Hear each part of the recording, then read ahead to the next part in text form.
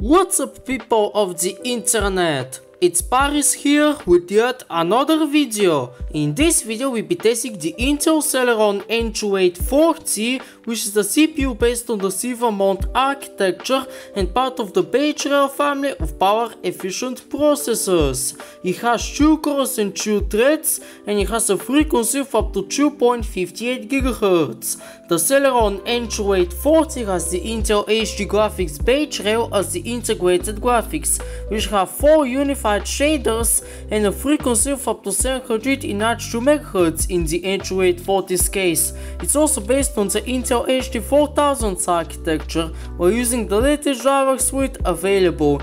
You also have 4GB of RAM in single channel mode as well as a slow hard drive for the operating system and an external one on which the game is installed. As for operating system we're using Windows X Lite Optimum 10 Pro version 2. All the specs are in the video description. After benchmarking Dirt 3 on the N2840, let's try the previous game, Dirt 2. Shout out to the same people who requested it and let's get straight to the points now.